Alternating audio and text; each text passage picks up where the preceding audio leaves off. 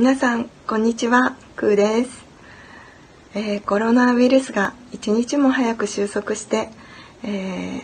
皆さんとまた、えー、生でライブでお会いできることを願っています、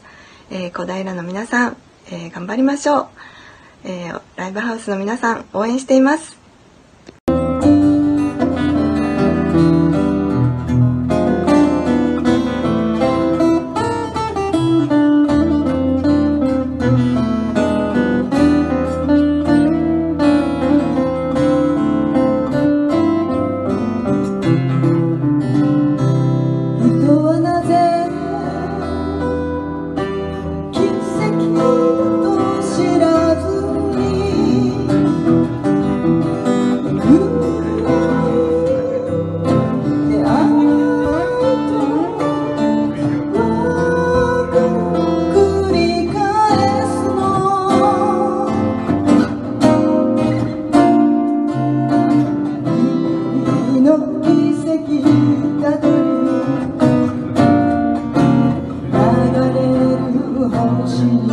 「あ